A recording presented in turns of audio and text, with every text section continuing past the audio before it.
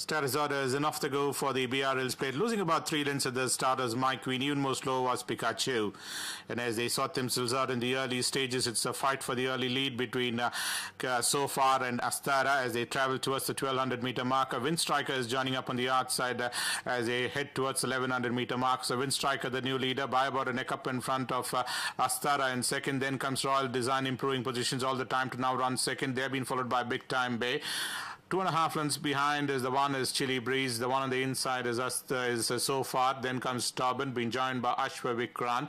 Length at a quarter is the 800 meter marker, sporting the all black colors of Flamboyant, King Star, My Queen, and Pikachu, keeping company towards the inside as they begin to approach the uh, 600 meter marker and negotiate the ban.